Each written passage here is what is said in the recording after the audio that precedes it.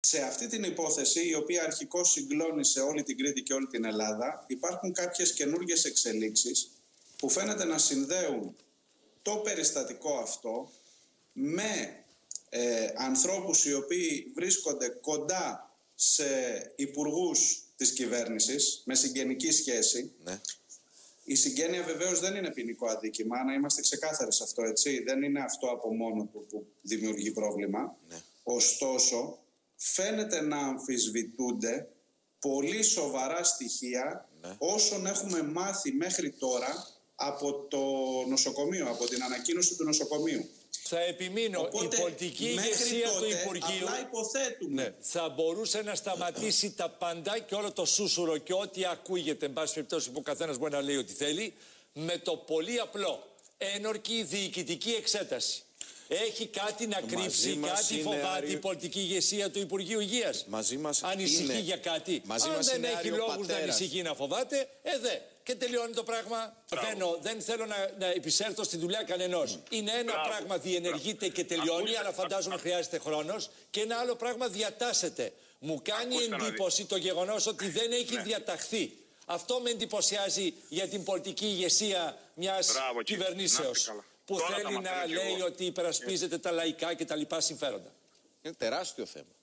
Διότι εδώ μια πυρκαγιά ξεσπάει κάπου, όπως συζητούσαμε πριν με τον κύριο Παρασκάκη, τον πατέρα της τετράχρονης Μελίνας που χάθηκε μετά από μια επέμβαση υποτίθεται ρουτίνας και γίνεται ΕΔΕ και εδώ όχι ΕΔΕ δεν έχουμε.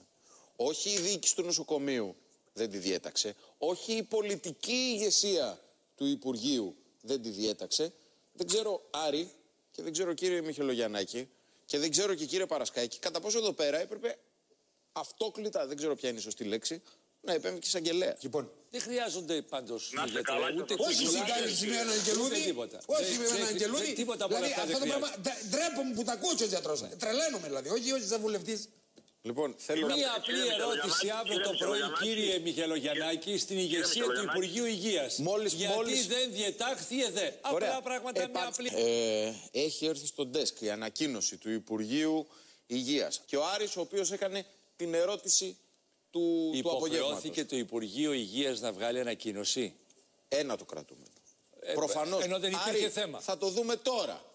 Άρη, θα το δούμε τώρα. Γι' αυτό Περιμένω. και λέω από την αρχή ότι εδώ δεν έχουμε σαν το χαντάκι στο Μεσολόγγι, θέμα που το τραβάμε τα μάτια. Εδώ έχουμε θεματάρα. Άρη, τι λέει το Υπουργείο σου, παρακαλώ Την πολύ. επομένη μέρα, λέει το Υπουργείο Υγείας, από τον θάνατο της, ε, της, της μικρής, ο διευθυντής της, δηλαδή στις 29 Δεκάτου, ο η- διευθυντής της ιατρικής υπηρεσίας του νοσοκομείου, ο, του ε, μ, ε, Βενιζέλου- Βενιζέλιο, ο οποίος εκτελεί χρέη διοικητού, έδωσε εντολή για τη διενέργεια προκαταρκτικής εξέτασης. Παραλλήλως στο Σώμα Επιθεωρητών Υπηρεσίας Υγείας, το ΣΕΙΠ, στο πλαίσιο διερεύνησης του συμβάντος και στη συνεννόηση με το Υπουργείο, ζήτησε όλα τα απαραίτητα έγγραφα από την διοίκηση του Βενιζ- Βενιζελίου, προκειμένου να πραγματοποιηθεί ενδεδειγμένη ελεγκτική παρέμβαση του σώματος. Σημειώνεται ότι στο τέλος εβδομάδος αναμένεται να έχει ολοκληρωθεί η τελική ιατροδικαστική έκθεση με βάση τις τοξικολογικές εξετάσεις που εκκρεμούν και η οποία αναμένεται να προσδιορίζει τα ακριβή αίτια θανάτου του κοριτσιού. Το Υπουργείο Υγείας ήταν ενήμερο από την πρώτη στιγμή για το συμβάν